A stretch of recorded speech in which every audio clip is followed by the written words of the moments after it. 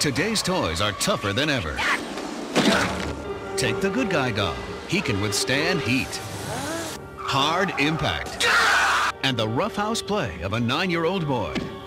He's Chucky, and this summer he's back for more in Universal Pictures' Child's Play 2. Action and dummy! Did you miss me? In his hit film debut, Chucky was just another good guy until he ran into crazed killer Charles Lee Ray. He's this bad man who got inside my good guy doll. After Chucky came apart at the seams, everyone thought the nightmare was over. They were wrong.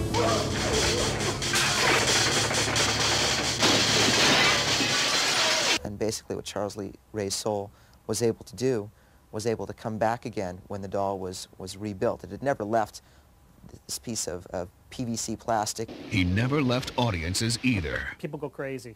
It's unbelievable. People seem to have an inherent reaction to dolls. I think the fact that it's a toy and it's supposed to be cute, and everyone has had dolls or had sisters that had dolls and dolls in the family, yet hiding behind this facade of a doll is this maniacal killer.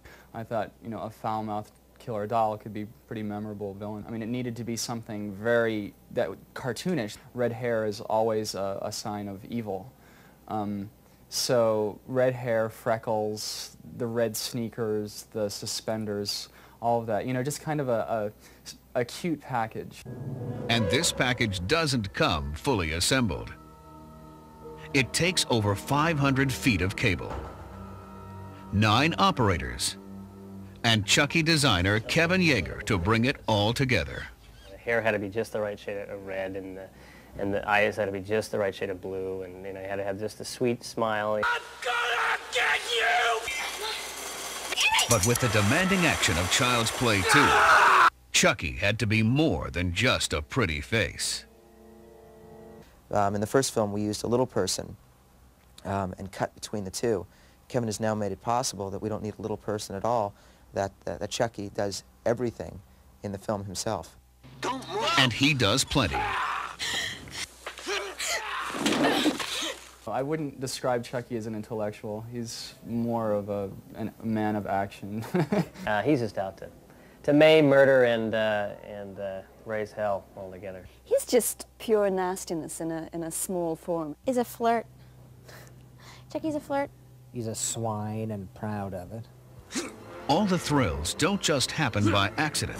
There has to be a plan. First thing we're going to start with is uh, Chucky inside the cage with Andy crawling up the conveyor belt, you know, and, and then get those stamps going. Kind of a parody of a Hitchcockian murder scene. Chucky arrives at the house, and of course his goal is to make his move on Andy, but he can't when he first arrives in the house because he sees that Jenny Agutter is there with him. So he has to bide his time, so um, the camera sort of cranes down, and he and he's backing away from the stairs into the living room, and he backs right into the Tommy doll. I'm Tommy. Shut up, you idiot. I'd like to be hugged. I like to be hugged. I like to be hugged. I like to be hugged. So Chucky just grabs this statue and says, This.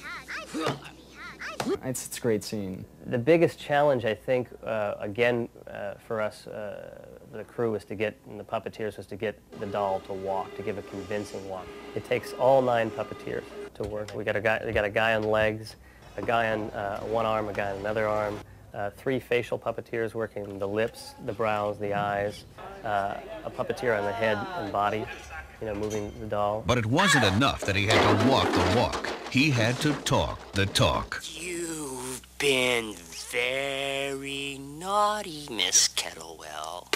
We wanted something frightening, something that, um, I mean, I'm sure there, in the course of your life, there are people you sound, you sit next to and you talk to them, and they just don't sound right. And, and Brad Dourif was able to capture that quality perfectly. Uh, there's a, almost a Jack Nicholson kind of quality to it.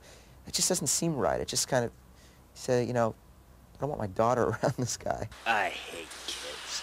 So we can coordinate the jaw and the, the finger movements to actually pronounce words on the, on the doll. He can say A, E, I, O, U. A, B, C, D. And Chucky's creators can pull the audience's strings, too. I'd said to my wife for the first time that she saw it with an audience, I said, don't look at the screen, do this. And what she was seeing was, was people hold on and then grab onto somebody else. And that, that to me is good filmmaking. it's the greatest dating film in the world. So because they they were always grabbing uh, each other. I think that they should have felt like they'd just gotten off a great roller coaster ride. Beware, Chucky's not the type of playmate you leave behind. I have one Chucky doll in the box, you know, and he's just like sort of entombed behind this plastic facade, and, and that's kind of a chilling image. And people definitely do double takes. I also have one of those Chuckies with the suction cups that's sticking to the window, so when people approach the house, they're greeted by that. It, it definitely gets a reaction out of people. Sorry, Jack.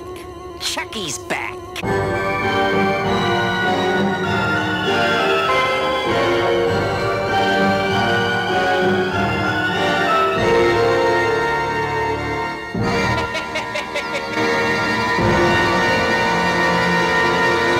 Hey, it's Lisa here with an interesting fact from Child's Play. Did you know it was inspired by a real event? In 1999, Key West painter and author Robert Eugene Otto claimed that one of his family servants placed a voodoo curse on his childhood toy, Robert the Doll. Supposedly, the doll would mysteriously move from room to room, knock furniture over, and conduct conversations with Otto. Hmm. Now, click below to subscribe and also tap the bell to receive our videos in your feed.